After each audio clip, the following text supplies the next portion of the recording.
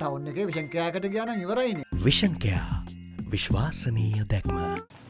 හැටන් අධ්‍යාපන කාර්යාලය යටතේ පාලනය වන මස්කලිය සමන්ඩලිය මහවිද්‍යාලයේ ක්‍රඩාංගනය අසල ගල් දෙබොක්කාවක බැඳ තිබූ මෙම බඹරකුඩුවේ බඹරුන් පාසල් සිසුසිසුවන්ට පහරදී තිබුණේ පසුගිය දා හතරවනිදායි.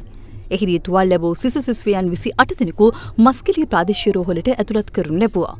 පසුව හැටන් කලාප අධ්‍යාපන අධ්‍යක්ෂවරයාගේ අනුමතියට යටත්ව එදින පාසල නියමිත වේලාවට කලින් වස් අදමීමට විදුහල්පතිවරයා කටයුතු කර තිබුණා. ඒ අනුව හෙටදිනේ යළි පාසල් විවෘත කිරීමට අවශ්‍ය බැවින් ක්‍රීඩාපිටිය අසල වූ බඹරකෝඩුව ඉන් ඉවත් කිරීමට බිගු සම්පත සුරකීමේ සංවිධානය නිලධාරින් පියවර ගත්තා.